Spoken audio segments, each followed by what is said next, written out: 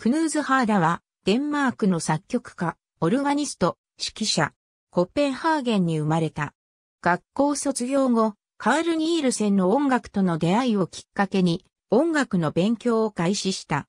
後に、ニールセン本人に出会っており、二人は1904年から1920年代の後半まで書簡の交換を続けた。1904年頃には研鑽のためにミュンヘンへと赴いている。当時まだ20歳だったにもかかわらず、彼は同地で自作を披露するとともに指揮者として活動する機会を得ている。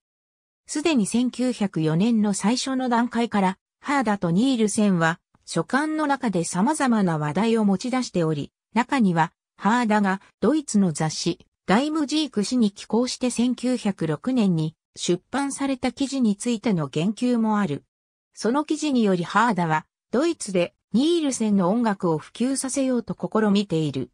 他に手紙に書かれていることは、ドイツとフランスで出版された音楽哲学に関する小論、ファンタジア・アッパシオナタについてなどである。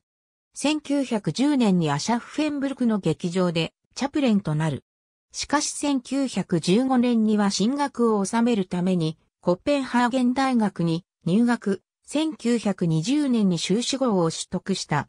大学在籍中の1915年5月1日から1920年8月14日まではボークスキャレギアで学んだ。フレゼレクスベアに没した。ありがとうございます。